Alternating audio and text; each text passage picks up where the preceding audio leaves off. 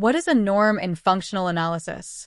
The norm of a function is akin to the concept of distance in geometry, offering a means to quantify the length, or size, of a function within a function space. By defining a norm, functional analysis establishes a notion of closeness or convergence between functions, crucial for studying function properties in diverse mathematical contexts.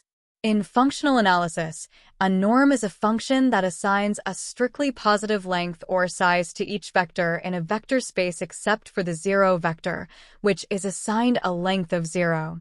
Formally, given a vector space V over a field F, usually the real numbers R or complex numbers C, a norm on V is a function norm V to R that satisfies the following properties for all xy belong to V and a belong to F. 1. Non-negativity, or positivity. Norm x greater than or equal to 0. The norm of any vector x is a non-negative real number. 2. Definiteness. The norm of a vector x is 0 if and only if x is the 0 vector. 3. Homogeneity, or scalability. Norm alpha x equals mod a norm x. Multiplying a vector by a scalar alpha scales the norm of the vector by the absolute value of alpha. For triangle inequality, norm x plus y less than or equal to norm x plus norm y. The norm of the sum of two vectors is less than or equal to the sum of the norms of those vectors. Euclidean norm L2 norm. Mathematical definition. For a vector x equals x1 x2 so on xn in R n or cn.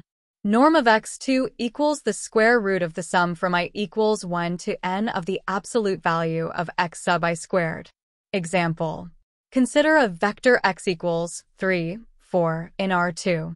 Calculation. Norm of x2 equals 3 squared plus 4 squared to the power of 1 half equals 9 plus 16 to the power of 1 half equals 25 to the power of 1 half equals 5. Explanation. The Euclidean norm of the vector x sad face 3, 4 is 5.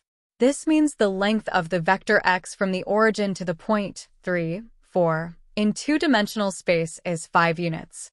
It corresponds to the straight line distance in Euclidean space, which is derived from the Pythagorean theorem.